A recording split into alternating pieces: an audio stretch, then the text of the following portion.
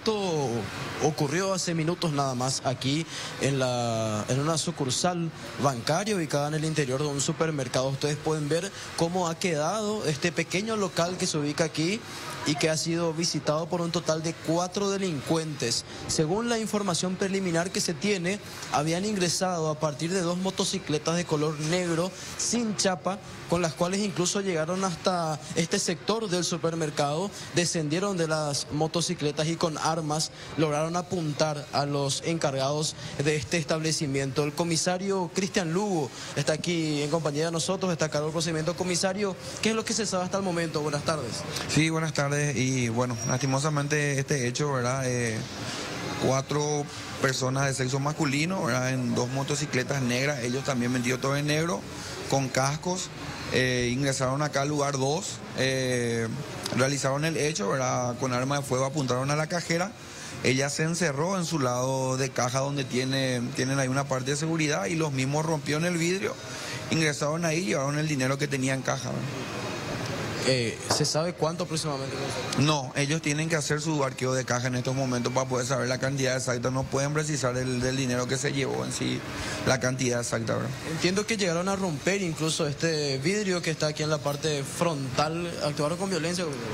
Y rompieron el, rompieron el, blinde que se encuentra de este lado, ¿verdad? donde detrás de ellos se encontraba la cajera. La misma al percatarse del hecho eh, ingresa al otro lado, se encierra ahí para poder protegerse De, esta, de esta gente. ¿Sonó la alarma, comisario? Sonó la alarma y eso es lo que le hizo salir con más, con más rapidez a los mismos. ¿verdad? Nosotros llegamos enseguida, pero como se manejan en motocicleta, ¿verdad? Y esto es un lugar, un lugar, en un lugar cerrado, es muy difícil ¿verdad? tener la cobertura cercana a esto. ¿Las características de la motocicleta?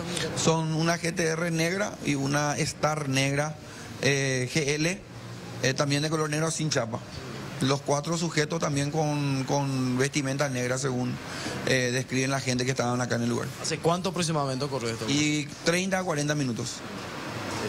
Por lo que se ve al menos, eh, por la forma que describís, la violencia estuvo presente, ¿qué tipo de armas utilizaron según la descripción? Y eso tenemos que ver porque ninguno puede precisar, ninguno precisó la característica de arma que poseían los mismos. Sí que, que tenían arma de fuego, dicen ellos, no, no pueden precisar la, la característica ni tipo de arma que utilizaron, pero sí rompieron el vidrio para poder ingresar al otro lado. ¿El dinero que se ve allí es parte también de, de, lo que ellos intentaron sacar? Así mismo, el dinero que se ve ahí son el dinero que no pudieron llevar, todo que se encontraba también en caja. Bueno, continúa este procedimiento. ¿Ustedes tienen alguna información en torno a dónde estarían estos presuntos responsables, comisaria, de la, la, eh, el poco tiempo que ha pasado?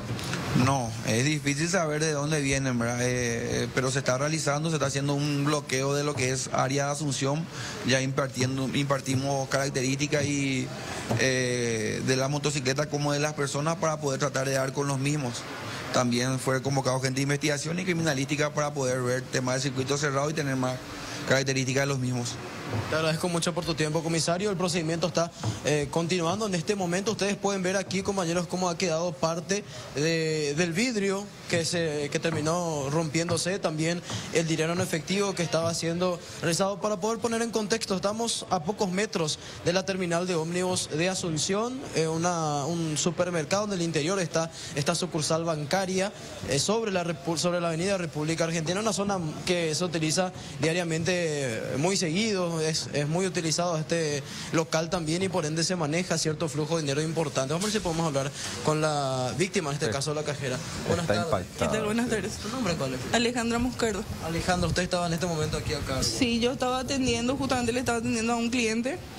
Y lo único que ya he visto fueron los dos muchachos que entraron acá por, por esta entrada em, con casco y campera negra y apuntándole a los clientes. Y después me apuntó a mí y yo lo único que hice fue retroceder, cerrar la puerta y encerrarme acá.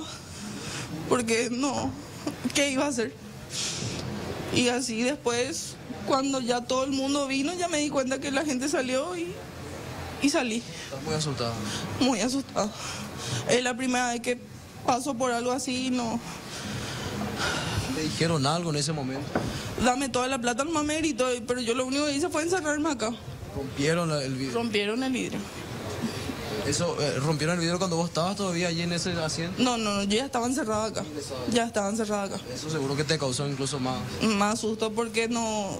Cualquier cosa podía pasar acá si es que llegaban a pasar acá. Porque no. ¿Vos llegaste a ver si tenían armas de fuego? Sí tenían, sí me apuntó a la cara. Los dos tenían. A los dos, sí, porque le apuntó a la gente de afuera y me apuntó a mí. Y me dijeron que fueron cuatro, yo he visto dos, pero fueron cuatro. Dos son los que ingresaban caminando. desde Sí, desde afuera. De la- Del estacionamiento. Llegaron a llevar el dinero que estaba en la casa. Llevaron. Terrible, es la inseguridad de ese momento. Ya es imposible vivir así, ya no, no, no hay garantía. No hay garantía. No hay seguridad.